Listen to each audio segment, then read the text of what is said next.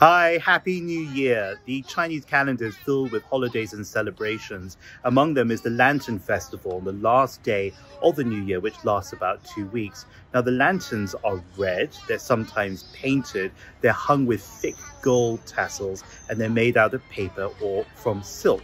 Now, the lanterns are hung from doorways in homes or shops or businesses. Of course, they're very auspicious, they bring lots of good luck.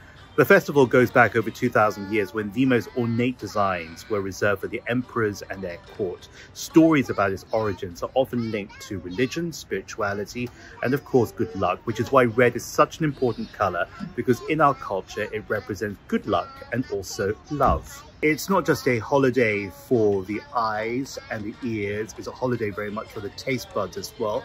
On the big night, we eat something called tangyuan, which are rice ball dumplings. They're sometimes fried or they're boiled or they're steamed or they're presented in soups and broths and the flavors are really diverse as well. Some of them with red bean paste, sesame paste or peanut paste. So there's a lot to choose from as well.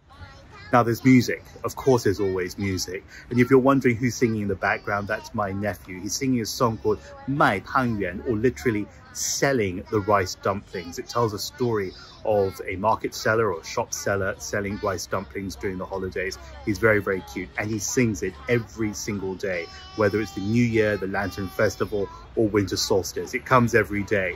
And I think that's the beauty of it because the Lantern Festival is a global festival. Sure, it belongs to uh, over a billion Chinese people in the world, but because they're so globalized and because they live everywhere, we find exhibitions and shows and parades in many global cities like London and New York.